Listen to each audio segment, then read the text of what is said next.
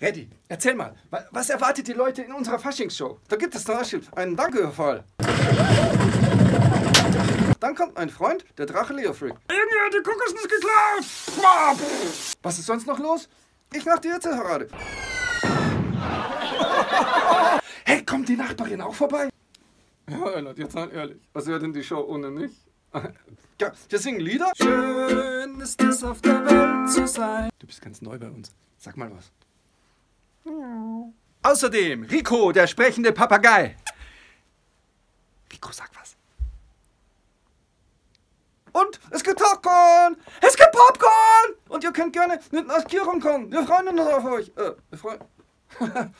wir freuen uns auf euch. Wir freuen uns auf euch. Tschüss. Tschüss.